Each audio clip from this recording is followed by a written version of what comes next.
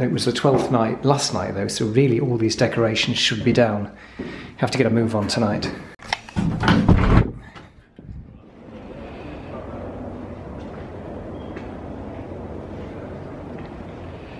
I love this end of afternoon look in the winter when it's a blue sky and it's starting to turn pink. Um, even if it's a, it's a cold day, especially if it's a cold day. It's a bit sad that we've got all these dead Christmas trees abandoned on the street.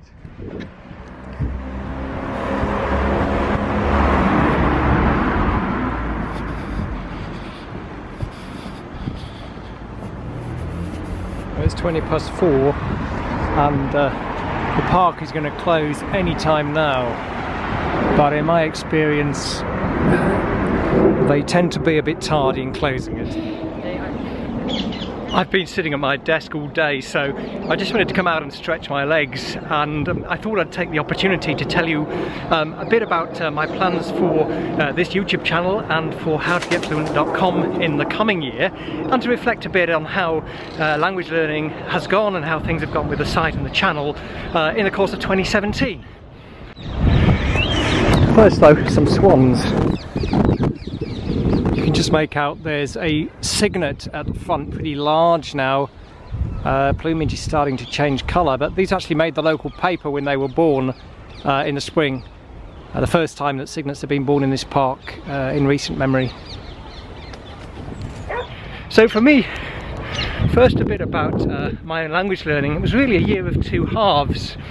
And the first half I was focused on my Russian C1 written exam, the TRKI third certificate, and I blogged quite a bit about work on that. It was pretty intensive, but with a regular routine, focus, a lot of corrective feedback, I managed to pass, unlike uh, 2016, which meant that I've now got the whole certificate and I am a certified third certificate Russian, Russianist if you like, which was a great feeling. What about you? Did you have any big goals for 2017? Did you work in the middle distance, set maybe a three month uh, goal period? That's something I like to do, so it's not so far away that you just postpone things, um, but it's not so close that uh, you can't get much of substance done. So remember, it's, it's a marathon, not a sprint, as we always say, this language learning game. The second half of the year for me was uh, much more relaxed and it was a bit experimental. I was working on some Icelandic, basic Icelandic for the course I did in Reykjavik, which was just a three afternoon taster before the Polyglot conference there at the end of August and that was real fun. I got a taste for the language, didn't get that far in practical terms. I didn't particularly like the online automated uh, computer Icelandic course that we were asked to try out in advance. Um, but you know, it's important I think to keep trying new methods and I, am a traditionalist at heart, but uh, you know, I wouldn't uh, never say never in terms of you know trying out uh, new language methods. That was that was how I was thinking at least. Uh, what about you? Do you like trying out new things, uh, or are you a traditionalist too? Let me know. Uh, let me know. And finally, it was you know steady as she goes with my Basque, so I didn't cover that much on the site. I wrote about it in my roundup in May as to how the year was going, um, but I've been continuing to have lessons uh, in that language too. Uh, one thing was that I, I did give up doing the um, doing the classes, the group classes, when they resumed this autumn, and I focused on using teachers on iTalki, uh, which I found the most efficient at this stage. I'm still sort of lower intermediate with the Basque, but it, it's, it's a long game again. I've been learning now for several years. Uh, sometimes I feel good about it, sometimes uh, it's pretty frustrating, but it'll be more of the same, I think, with the Basque for the first half of 2018.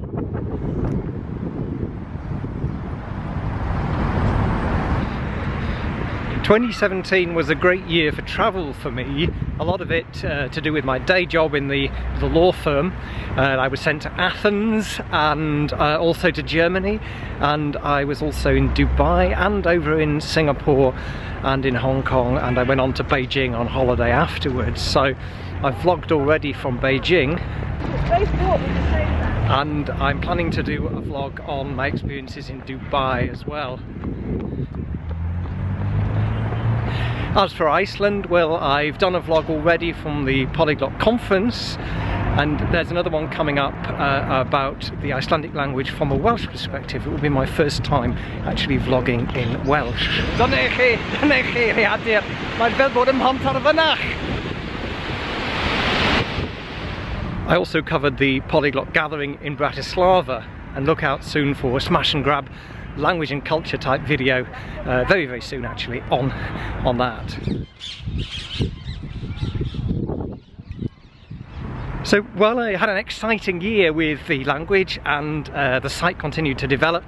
Uh, I do feel I sort of failed in my ambition at the beginning of the year to do more about general language learning advice and tips um, uh, on the site. So I did cover early on the gold list method uh, for vocabulary learning sort of spaced repetition system which is low tech and very effective.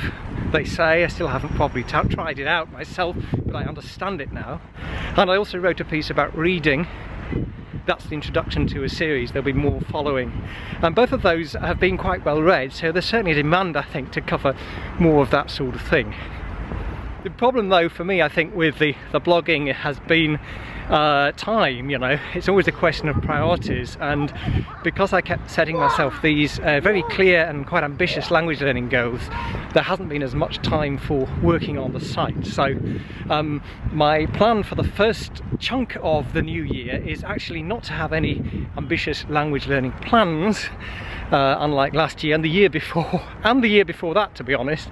Um, but just to keep things in maintenance mode with my languages and uh, to, to really focus much more on more regular and more generally applicable content in the site and that brings me to this YouTube channel and uh, so far I've really been posting uh, reportage style vlogs from the different language enthusiasts events and also um, sort of travel pieces, the, the smash and grab series and I'm going to continue doing both of those. I've had great feedback on them.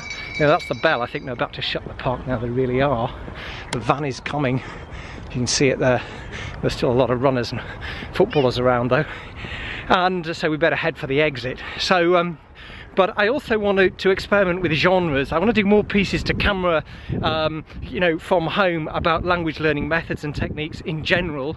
Um, I've cut my teeth on that now in that I have um, just released a five-part email video course, which you can get, the, the links underneath, um, and that's called Discover How to Get Fluent. It's about how to get started efficiently learning a language. So I'll be doing much more on methods and techniques actually to camera uh, on the channel. And the other thing I want to do is to try and um, sort of establish a link between us much more directly by more informal uh, short piece vlogs uh, of, a, of, a, diary type nature uh, like this one. So um, those are the approaches I'm suggesting to, to take this year. Um, if you've got any comments or ideas then let me know underneath. And um, you know thanks for watching. Don't forget to subscribe to the channel. Hit the bell uh, so that you know when new stuff appears. And give us a thumbs up. And thanks a lot. And uh, S novym godom uh, happy new year. Happy just warm happy Christmas if you're celebrating it today quick